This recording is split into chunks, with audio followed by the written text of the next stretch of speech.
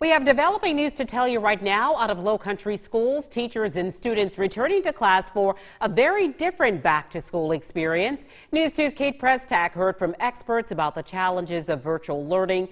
Danielle Hensley was there as Berkeley County students started class. And Riley Benson got a tour of West Ashley High School today.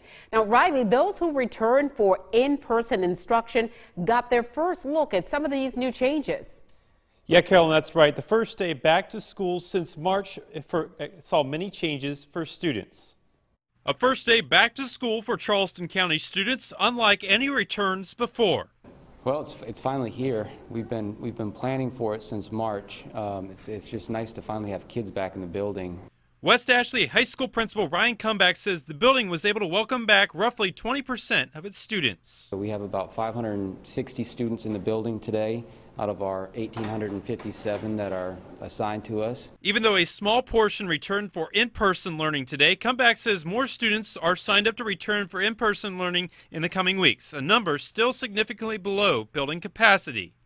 We wish all of them come back, but we're just not at that period of time. A return for both students and teachers met with challenges and changes ranging from extra hand sanitizer, smaller class sizes, and classrooms being utilized for both in-person and e-learning, all the way down to the direction students walk the halls. This is a very, very large campus, and as you can see from the hallways, everything is, is one way, um, so there's maps all over the place.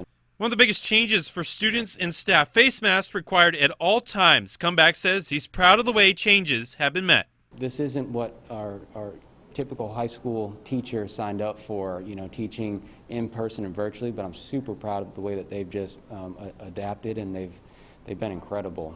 Patience and flexibility, things that Cumbee say will be crucial for teachers, students, and parents alike to have a successful school year in 2020. We're, we're trying our absolute hardest, and, and but more importantly, I just want them to know how appreciative we are of their patience, you know, especially with the at home, the technology. Now, Carolyn Cumbee says parents and students shouldn't feel behind if they missed some information today. He says staff will likely go over the new changes and challenges again tomorrow. Live in studio, Riley Benson, Count on 2.